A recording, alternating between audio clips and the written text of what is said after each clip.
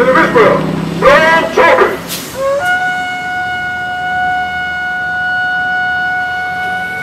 Trumpets down. All praises. So according to the Bible, when we got the war for the minds of our people, we blow trumpets, we have war. That's the sound of the Lord, let you know we have war. Why again? For the minds of our people, to let you know who you are and what we must do. And we are the Israelites and we must keep God's commandments. Of Deuteronomy, chapter 28, verse 15. But it shall come to pass, if thou wilt not hearken unto the voice of the Lord thy God, to observe to do all his commandments, the Bible says if we did not hearken, if we don't hear, if we don't listen to the Bible, if you so-called blacks, Hispanics, and Native Americans do not listen to the words of God, come on, to observe, to do all his commandments, to pay attention, to learn, to implement all of his commandments, not just the ones you like, not just the ones you know, but to learn more and more God's commandments, to apply them, to do them. If we don't do that, read, and his statutes, Uh-huh. which I command thee this day, that all these curses, all these, all these curses shall come upon thee and overtake thee. Hey, my brother with the Steelers hat. You know your nationality, bro? What's your nationality, man? I can't hear you. You said Africa? What part of Africa? That's a continent. What's your nationality based on Africa? Because you just called the street running from the word and you smoking. Defiling a temple, man, that's not good. That's sin. You show you in the Bible what you're doing that's wrong right now. Just correct you, show you what love is according to the Bible. That's what our people need. Come on. 1 Corinthians 3 and 16, to show the brother he's defiling his temple, and that's unlawful. Gotta keep our temples full. What's up, man? What's your nationality? What's your nationality, bro? Huh? Talk to your people for a second, man. We're actually teaching the Bible for free. Answering questions, giving edification for free. Come on. The book of 1 Corinthians chapter 3 and verse 16. Know ye not that ye are the temple of God? You what? Know ye not that ye are the temple of God? The Most High said our bodies are his temple. Our bodies are his temple. The Israelite man and woman, you are God's temple. What that mean? You shouldn't be out here getting tattoos, smoking your body up, cutting yourself. That's going into sin. That is breaking of God's laws, but not to defile our temples. As well as smoking marijuana, smoking cigarettes. We're not supposed to do those things. Your body is not designed to inhale smoke. That's not what it's for. It's to inhale oxygen and exhale as well. That's what your body's designed for. We shouldn't be getting drunk, defiling our livers and those things and messing up our intestines. That's why those things a result when we break God's laws. Those are the judgments for committing the sins that we commit. We should not be defiling the temple. This temple belongs to the Most High God. Come on. Know ye not that ye are the temple of God? My brother on the bike, God said you the temple of God. Yeah, you right there on that outfit, whatever you ride. You temple of God. Come over here when the light change. I don't want you to go right now and scream. When it, a second over here. He said, no, you're not. You are the of God. Why God gotta ask us that? Because we don't know. You know, sometimes you don't know the answer to something. Somebody got to ask you a question to make you realize you do know the answer. You ain't concerned about it. You've been tripping. They're trying to wake you back up.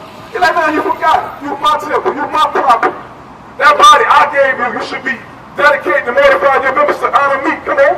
Know ye not that ye are the temple of God?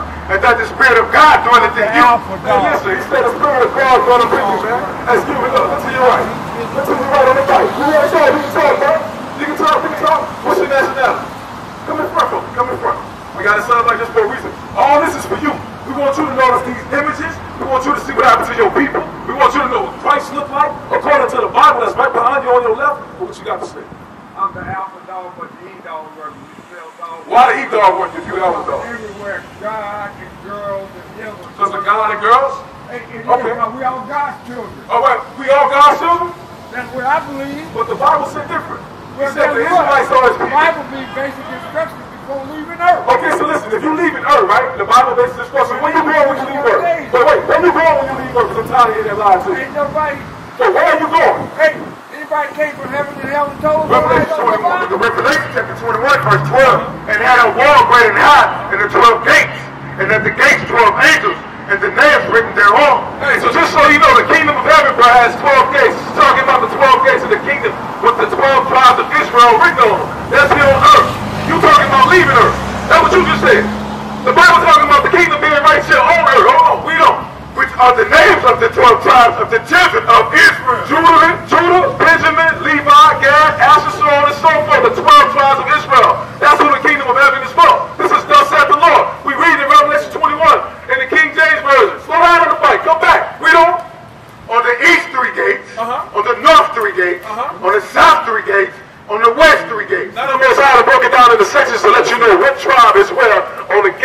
enter into the kingdom of heaven. What's up, man? What's this about? This is about the Israelites.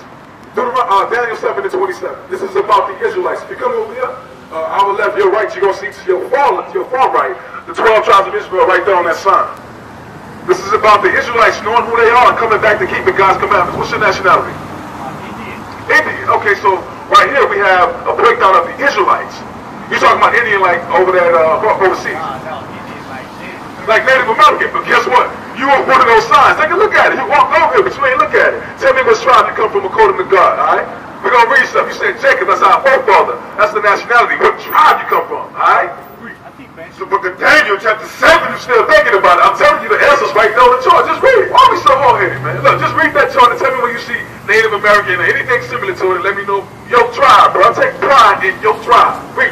the book of Daniel, chapter 7 and verse 27. And the kingdom, and, and the kingdom and the dominion. So this is about kingdom and dominion. This is about rulership and power. Come on. And the greatness of the heaven under the whole heaven. Just read about the kingdom in Revelation 21. No, stay where you at. Stay where you at. You're good. We just read about the, he- the kingdom coming out, uh, the kingdom being on heaven for the 12 tribes of Israel, which you all part of. But you got to start keeping God's laws. Come on. And the kingdom and the dominion and the greatness of the kingdom uh-huh, under the heavens. So all the power, the rulership, the dominion of this world shall what? Shall be given to the people of the saints of the Most High. You know who the saints of the Most High is? Do you know your tribe yet? Did you look and you still being rebellious? Huh? You say Ishmael. Israel. Israel, is your nation. He's trying to say Issachar. No, Issachar trying to thank you, honestly. Issachar ain't trying to say you Native American. What you got, the Saints? Psalms? You in Psalms 148? Okay. Then give me uh, 1 Samuel 15. Look up a little bit, man. Officer guy, he gave you the answer. We, had to give, we helped y'all. We did. Hey, we brothers for real.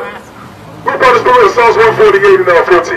Let's read who the Saints are. Let's just think against who the Saints. Don't tell me it's the, uh, the, the football team in the Waters either. Who's the Saints? You know? Okay, we're gonna read it in the Bible. And I'll cover your head too if you can, because you're hearing the Bible, but it's the word of God. This thing powerful, ain't nothing like it. Come on. So book of Psalms chapter 148, verse 14. He also exalted the horn of his people, the praise of all his saints, praise of all his saints, the word, the key word is saints. Come on. Even the children of Israel, the word even there means indeed. Even means indeed. He says indeed the who? Even the children of Israel, children of Israel, the Israelites is God's saints, according to the Bible, all right? They're Israelites. What tribe are you from now, you know? Uh. Huh? Okay, so listen. If you said you're Native American, you will be from the tribe of Gad, thus said the Lord. The officer just gave you the answer. Touch the, touch the posters for you. I don't know why. You've been there for five minutes and still being rebellious. Me show you what God said about rebellion. You know, to, okay, okay, got mercy on you. It's cool. We all need some mercy sometimes. First Samuel chapter 15, verse 23. You got it? You there? All right. Trigger, I got it. I got it. Book of First Samuel chapter 15 and verse 23. For rebellion is as sin of witchcraft. Hey, For rebellion is as the sin of witchcraft. So rebellion is as the sin of witchcraft. That's how wicked that is. Back in the day, we was putting witches to death. Alright? Of Under Moses' law before Christ, which we under now, we was putting witches to death. We cannot be rebellious, bro. God falls upon that thing. That's, that's He hates that thing. We got to be the same way about it. We got to learn to humble ourselves and do what we told to do. You get what I'm saying? Watch this, Leviticus 19 and 27. So book of Leviticus chapter 19 and verse 27. You shall not round the corners of your heads, neither shalt thou mow the corners of thy beard. We can't round the corners of our heads. Any idea what that means? Okay, so rounding the corner of your head is going into bald in your head. You ever notice how they always put some bald head celebrity in front of us? Everybody with a bald head, from Michael Jordan to Mike Tyson to Charles Barkley to Shaq, uh, Montell Jordan, bald. They no matter what area of entertainment you look into, they always put some bald head Israelite man on the screen for that image to be seen to other Israelite men and women for us to think that that's cool. But God said we can't do that. That's a sin. Read it get from the top.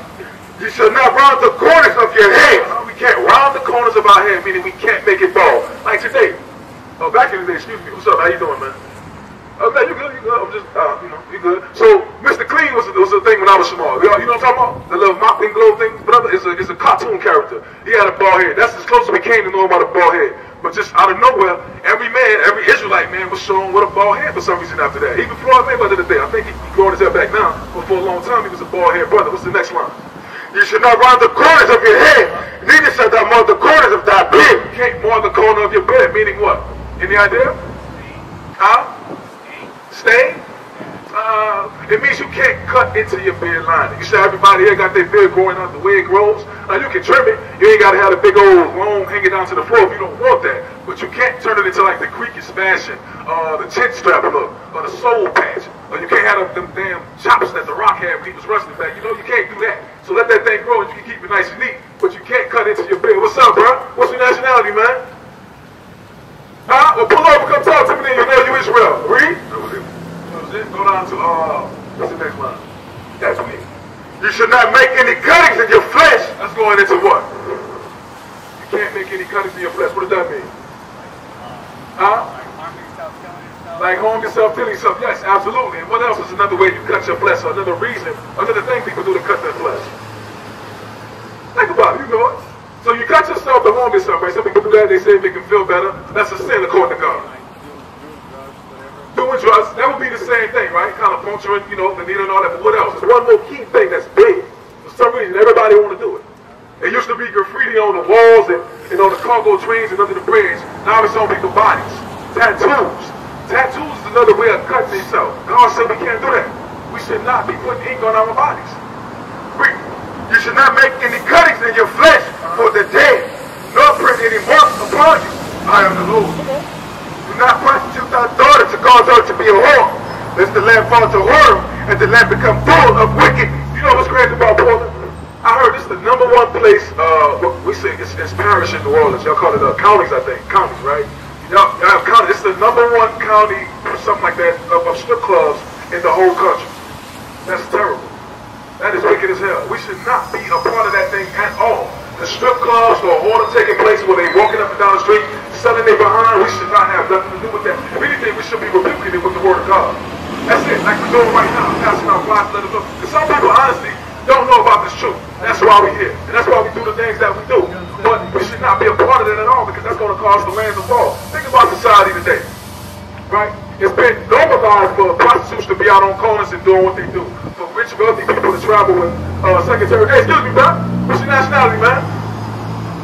African American? Hey, two minutes real quick. Let me show you you're not African American. You're better than that. And so Israelite, man. You gotta repent. Right, that's what this brother learning. Said he from the tribe of Gad. So, like I was saying, according to uh, according to the Bible, we can't have any part to do with any order in the land. So what's been going on is now they're moving towards letting kids marry grown-ups. There's young men that's trying to get the permission or the law passed to marry young boys. You see what I'm saying? That's what, that's what, that's what the world is falling into right now. Come on, read it again. Do not prostitute thy daughter to cause her to be a whore. You know how we aid in that? Unfortunately, when we let them go dressed unmodest outside, young ages with high skirts, being these little cheerleader programs, being a part of all these things where they're dressed immodestly. Why? Because it's adults they dancing and, and twirling in front of for entertainment, not realizing everybody mind right. And further, first, and foremost, it's against the laws of God. Laws, women need to be dressed modest. We gotta make sure that we being fathers and husbands and doing that for our women, making sure that they're dressed in a modest fashion. You understand? What's uh what's up to that? lest the land fall to whoredom and, be, and the land become full of wickedness.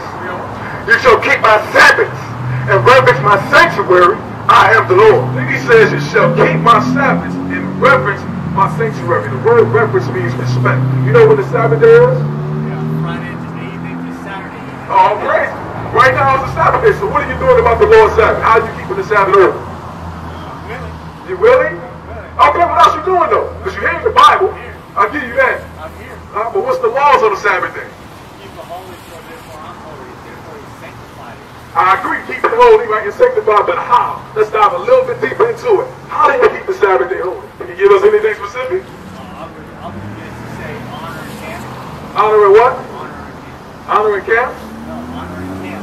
Honor, okay, I can't hear the second word. I don't know if it's the card and stuff. But we're going to read out the Bible then so we all know how to honor the Lord's Sabbath day like you said, all right? What you got? The book of Exodus chapter 20 verse 8. Remember the Sabbath day to keep it holy.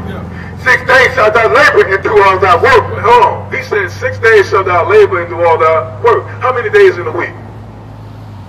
Seven days in a week, right? Okay, so one thing we can't do on the Sabbath day is what? We can't work. Now we getting somewhere. Because we keep it holy, right? And uh, separate, like you said. Because that's in the Bible. So one thing is, thou shalt not work. When it comes to working for money, not doing it on the Lord's Sabbath days. Right? Come on. But the seventh day is the Sabbath day of the Lord thy God. In it thou shalt not do any work, thou, nor thy son, nor thy daughter, nor thy manservant, nor thy maidservant, nor thy cattle, nor thy stranger that is within thy gates. So what he just told us, dealing with the same topic about work.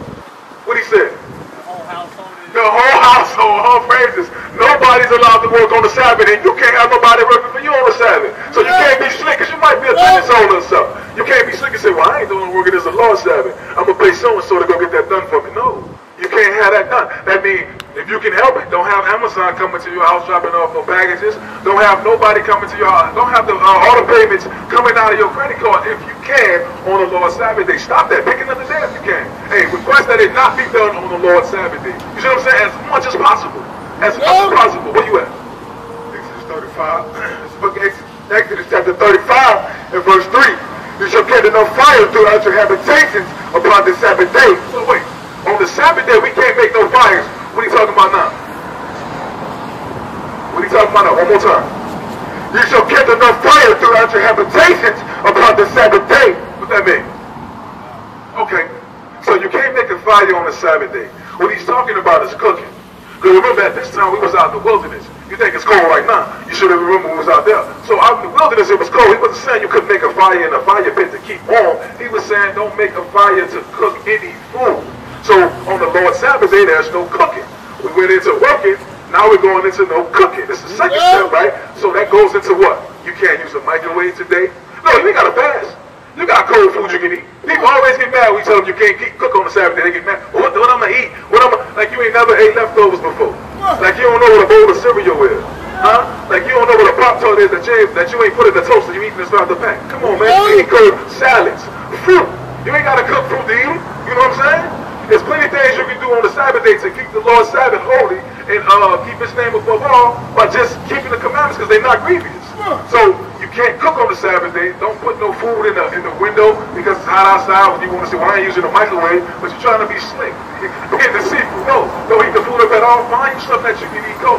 There's plenty of things out there. If allergic to something, find a solution to your problem. It's that simple. So no working, no cooking. Read on. Nehemiah, chapter 13 and verse 15. And in those days saw I and Judah some treading winepress on the Sabbath, and bringing in sheaves, and letting acid, uh, and also wine, grapes, and figs, and all manner of burdens which they brought in Jerusalem on the Sabbath day.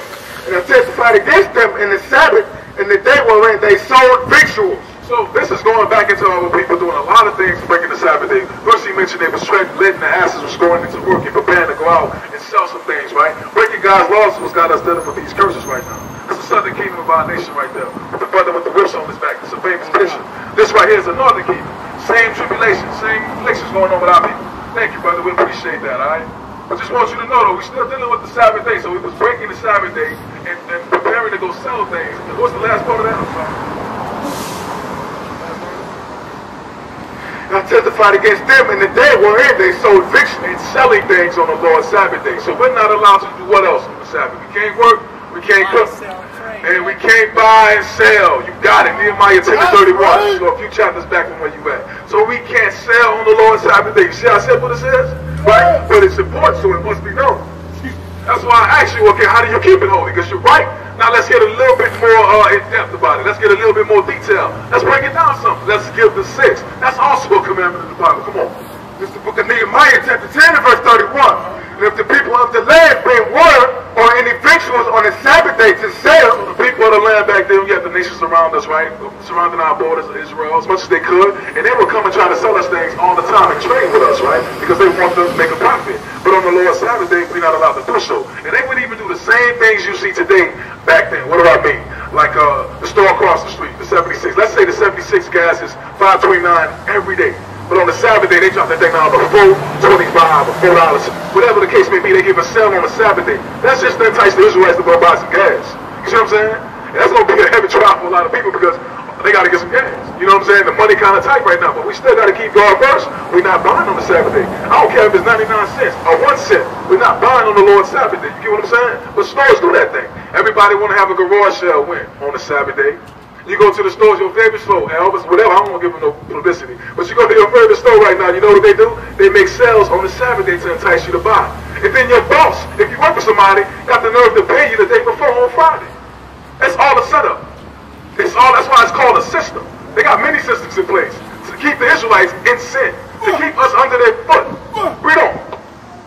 That we will not buy it of them on this Sabbath or on any holy day. So we can't buy it on the Sabbath day, the seventh day, Sabbath day, but there's also other Sabbaths, the holy days, the feast days of the Lord. We just celebrated these tabernacles, right? Oh, we got some more feast days coming up. You read about those in Leviticus 23. Get- So what's the things that we went over and discussed about keeping the Lord's Sabbath holy that we just went over? You remember?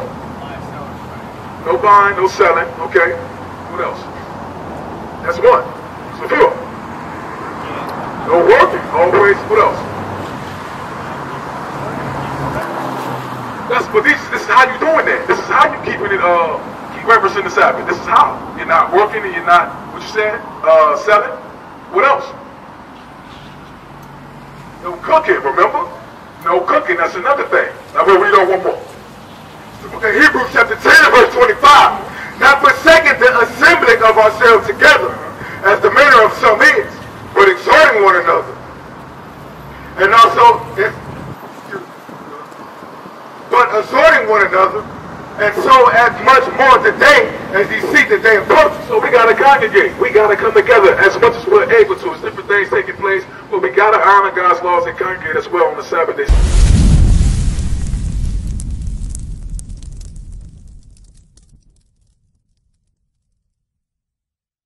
We used to scream black power while heroin was pushed. But at the end of the day, nothing's in vain. IUIC has been given a vision. The tents of Judah has risen. Many has attempted the mission, minor murmuring, omitting, and missing the mark. Just reading that he had the flame of fire in his eyes gave us the spark. We on Paul's mission. We out on the road, purple and gold, from Mexico, Cuba, Haiti, Ghana, Sierra Leone. 144,000 boots banging, concrete crackling. These are how our men repented at heart. The scriptures is proof. IUIC, we deliver the truth.